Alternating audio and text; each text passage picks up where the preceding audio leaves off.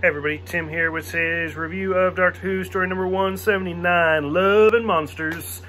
Holy fuck, this was awful. Like, this was god awful. Everything, the editing, which I know it was actually supposed, I am assuming, completely assuming here, it was meant to be awful.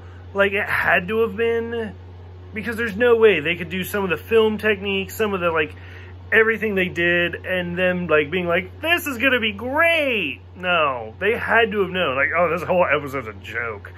Um, I so somebody told me that like this was like a contest, like a kid wrote a contest, like create your own Doctor Who villain, and this was the villain they created. More power to the kid. I'm not like, okay, that's fine a whole episode though? Come on. Like it's it was bad. Like from the opening scene where they're doing the scooby-doo chase i was like nope i am out. Like there is not enough liquor in the world to help me get through this. Uh, we hear the voice of ursula who plays my girl moaning myrtle in the harry potter movies. She's great. Again with this one of the one of the cringe-worthy scenes is he's like my name's elton not to be confused with and it actually shows Elton John, and I was just, why? Why would you even need to do that? Ugh. Um, they mentioned the Autons, they mentioned the Salvines, they mentioned Christmas. Then when we finally see the main villain, like, absorbing people, it's it's Fat Bastard from Austin Powers. Like, that's all it is.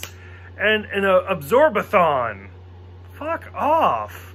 He's from, like, the twin planet from Corpses, whatever the same planet as the Slitheen come from. I'm not even to try to say it. but it's Clom. Clom. It's awful. That's what it is. It's fucking awful. And then, like, so when you finally, like, he, everybody gets absorbed, he melts. The doctor's able to save Ursula, his little girlfriend. And I swear to God, it's a blowjob on a brick. Like, that's it. He, when, when we leave, he's even holding the brick in his lap. And I was like, she's about to get fucked in the face.